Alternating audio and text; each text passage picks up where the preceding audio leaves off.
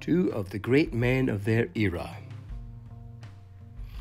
Allan Ramsay, poet, dramatist, and inventor of a circulating library, and Sir John Clerk, musician, architect, and landscape designer extraordinaire, had a truly monumental friendship. That is, a friendship as monumental as it is surprising. For Allan Ramsay was a Jacobite, and Sir John Clerk was the epitome of Hanoverian style and wealth.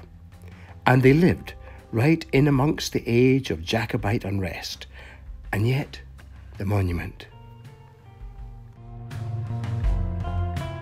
This avenue leads to the monument to Allan Ramsay, visible from Sir John Clerk's Penicuik House.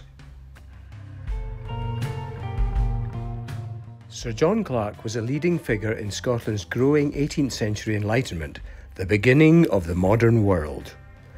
Hanoverianism was promoted by the victors of its cause as the very substance of sophisticated modernity.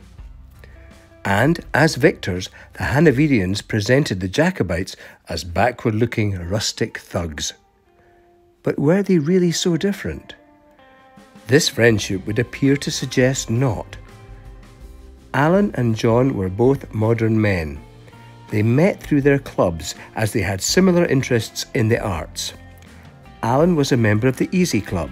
John was a Worthy. The politics of these clubs were very different Jacobite and Hanoverian. But they met near each other in Leith, and through similar interests, the two friends became firm. It's a wonderful example of how to hold differing opinions, yet not fight.